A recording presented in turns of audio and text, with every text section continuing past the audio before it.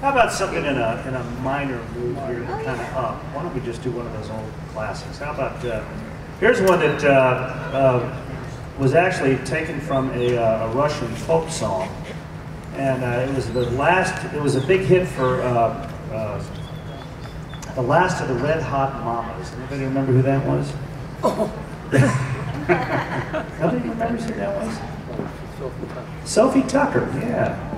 And uh, this was apparently from a, a, Russian folk song that if you translated it into modern day, it would, say something like, Goodbye, goodbye, Odessa Mama. And uh, they, they took the melody of that and came up with Some of These Days. It's 87, right? Yeah.